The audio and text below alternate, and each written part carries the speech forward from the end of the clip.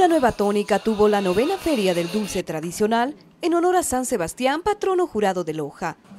En atractivas casetas de madera con decoraciones especiales y la estampa de la imagen de San Sebastián, se realizó la exposición de los dulces propios de Loja.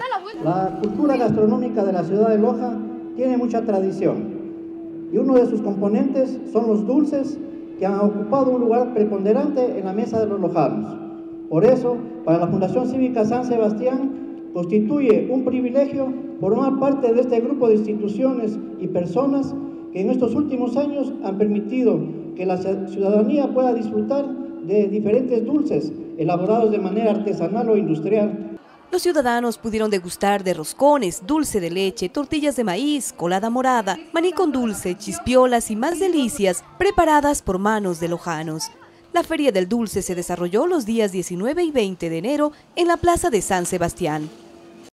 Más tarde, a partir de las 17 horas 30 del lunes 19 de enero, desde su santuario, el patrono jurado de Loja, San Sebastián, fue trasladado en procesión hasta la catedral. Autoridades cantonales y priostes acompañaron en el recorrido. Al llegar a la catedral se solemnizó la Eucaristía, en donde los coros fueron interpretados por la Orquesta Sinfónica Municipal. Retorno de la Sagrada Imagen se realizó el martes 20 de enero con la presencia de autoridades de la ciudad, devotos, priostes y delegaciones estudiantiles. Durante el periplo por la calle Bolívar, los feligreses dieron muestras de afecto y devoción al santo que cuida la ciudad, según cuenta la tradición. En la iglesia de San Sebastián se realizó la Eucaristía presidida por el obispo de Loja, Monseñor Alfredo Espinosa. Loja tiene que ser una ciudad de hombres y mujeres de fe, que buscan al Señor. Y a ejemplo de San Sebastián, se compromete totalmente dando la vida en la construcción de una ciudad más justa, una ciudad más solidaria, una ciudad que viva en el amor y donde reine el amor. Posteriormente, en el Salón de los Próceres, se desarrolló la sesión de trabajo entre los cabildos Lojano y Catedralicio de San Sebastián, en donde se propuso al municipio de Loja algunos proyectos para el mejoramiento de la ciudad y cantón.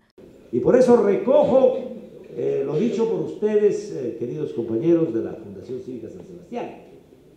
La Plaza de San Sebastián es uno de los principales atractivos turísticos de la ciudad, como el programa de ambientación escénica y sonora de la Plaza San Sebastián para que los turistas todos los días de 8 a 9 de la noche tienen pues una presentación lumínica de la plaza con toda su eh, arquitectura y a la vez una música de fondo, una sonorización de la plaza. Parte del evento fue la premiación a los ganadores del decimosegundo concurso interescolar de oratoria que se desarrolló el pasado 9 de enero. José Torres, ganador del evento, puso de manifiesto su capacidad oradora con el tema La Cascarilla. Al tratar sobre la cascarilla, árbol nacional del Ecuador, y cuyo objetivo principal apunta a que descurramos las páginas de la historia y adentrarnos con profundidad en la investigación para tener conciencia plena de los hechos y acontecimientos que le han dado a Loja ese brillo estelar en diferentes aspectos Asimismo, se entregó la presea Padre Julián Lorente a Marieta Castillo, Manuel Agustín Godoy y Jofre Aguirre Mendoza por su aporte a la ciudad mediante las buenas prácticas de vecindad.